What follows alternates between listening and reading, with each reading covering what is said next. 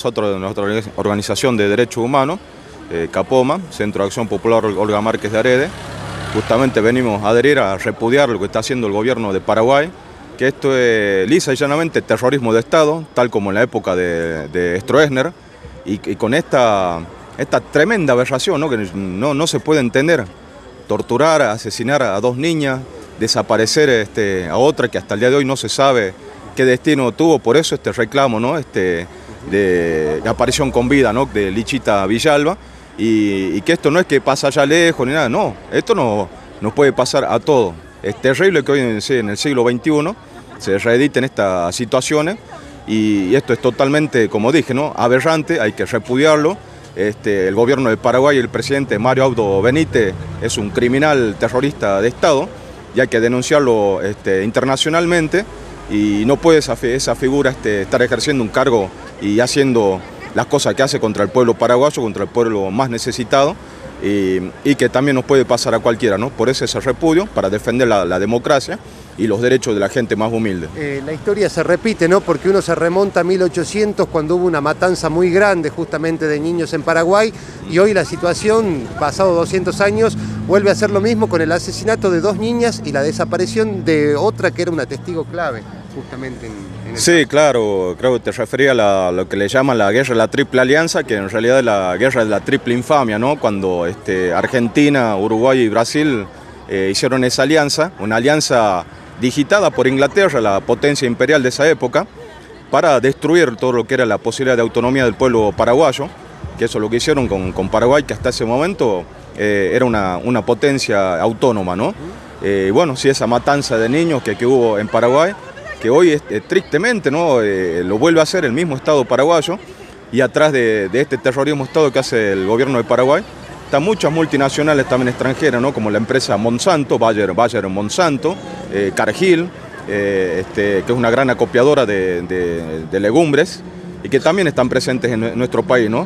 Monsanto fue la que también estuvo atrás del golpe, el golpe de Estado, el gobierno de Lugo, en el año 2012, atrás de la masacre de Curuguatí. Así que mm, hay que nombrarlo con nombre y apellido estas empresas multinacionales terriblemente asesinas porque tanto asesinan este, de este modo, fabricando masacre, haciendo perseguir al pueblo paraguayo, como también a través de la producción de la soja transgénica, que tanto estamos sufriendo en nuestro norte también, ¿no? Con la destrucción de nuestros bosques, los desalojos, eh, los incendios de, bosque, eh, para el avance de estos transgénicos, que es el gran negocio de estas multinacionales y que nos están generando la exclusión social, da destrucción del ambiente, la fumigación con agrotóxicos, las enfermedades terribles que están causando, y esto es lo que están denunciando eh, el campesinado paraguayo y también por, eso los persiguen, ¿no?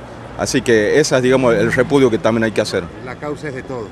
Claro, exactamente, porque acá también tenemos el problema de la, soja transgénica, lo, hemos, lo estamos viviendo en estos días, ¿no? Que por suerte ha llovido lindo, pero ahí en el norte lo hemos vivido terriblemente, ¿no? Tanto en Ledesma como en el norte de Salta, los incendios, también responsabilidad de, otra multinacional, la Seaboard Corporation, el ingenio El Tabacal, que es una multinacional norteamericana, que tiene sociedad con el ingenio Ledesma y han desarrollado la caña de azúcar transgénica. Así que no nos asombre que ahora estén haciendo los biocombustibles con caña transgénica, hace más de 10 años que la tienen eh, lista, y es parte también de este negocio multinacional, de este modelo productivo multinacional que saquea, destruye el ambiente, contamina, toxifica, desaloja a la gente, destruye nuestra diversidad y soberanía alimentaria, y por lo tanto menos recursos laborales. ¿no? Colonia Santa Rosa está siendo rodeada por caña de azúcar y por soja, eh, por los incendios también de estos, estos dos grupos, y por eso tenemos cada vez menos pequeños productores. Es un ejemplo lo que está pasando. Colonia Santa Rosa están desapareciendo los pequeños productores, por eso tenemos cada vez más cara la, comida. Eh, los supermercados hacen toda esa comida procesada a través de las grandes industrias, en la cual le meten soja, le, meten derivado de soja, y cada vez más cara. O sea, cada vez eh, comida de menor calidad, eh, este, claro, y con menores fuentes de trabajo para, para la gente en el interior, por eso un, país cada vez más pobre, esa mentira de que se produce soja para 400 millones de personas, alimento para 400 millones de personas, cuando acá en Argentina mucha gente está pasando hambre y necesidades, por eso esto, como vos decís, es un problema que nos atañe a todos y por eso acompañar a la gente, al pueblo de Paraguay, al pueblo humilde de Paraguay, para que esto se sepa mundialmente y, bueno, que tengan su condena los responsables, tanto los ejecutores del ejército paraguayo, como este, los autores intelectuales como el presidente Mario Abdo Benítez y, bueno, y estas compañías que están atrás eh, de estos modelos productivos injustos y terriblemente destructores de la tierra, ¿no? Gracias.